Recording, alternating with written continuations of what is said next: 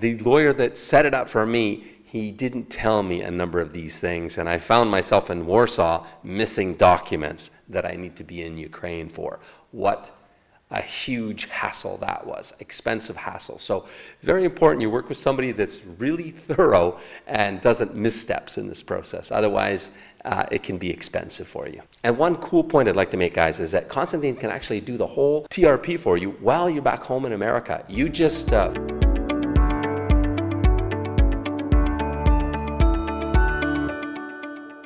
Okay, now we're going to jump into the seven step process you will go through together with Konstantin to get your temporary resident permit in Ukraine by incorporating and hiring yourself. So, the first step is what, Konstantin? Can you go through that with us? It is uh, making making power of attorney, yes, because uh, I need some power to to uh, acting in be, in behalf of your name. Yeah, for example, uh, getting uh, tax number for you. This is the first step.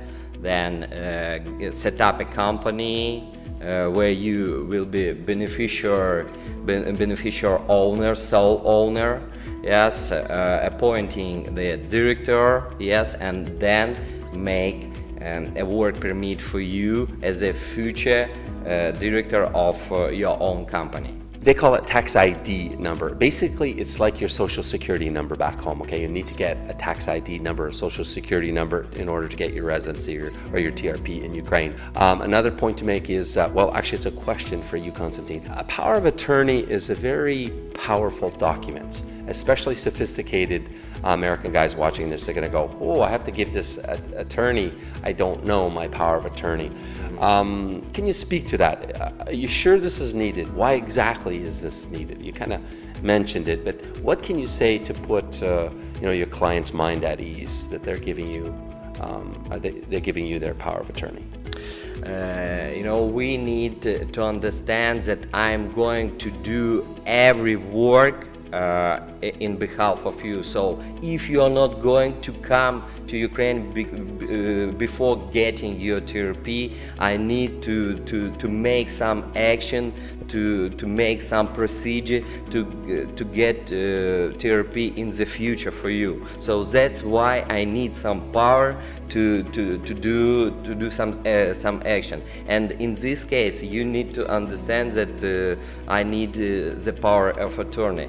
I prepare the power and, uh, uh, of attorney in English and I will send, uh, send to you and uh, you need to check very carefully and if you will have some question please please ask yeah, I understand. You have to incorporate in Ukraine. That requires you signing on behalf of the client, and you have to get a tax ID number. Question for you.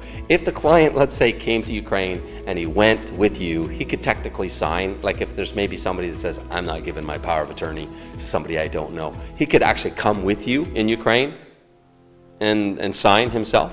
Is, is it possible for you to do this without a power of attorney? Uh, yes, uh, it, it is possible. So in this case, uh, I will not need the power of attorney if uh, you guys uh, come every time uh, with me, yes, and make your signature every time. But, but believe it's, it takes pretty a lot of time. So they're going to be following you a lot of different places yeah. and waiting in lines and stuff like this. It's a, so not advisable. Okay, great. So the second of the seven steps is what, Konstantin?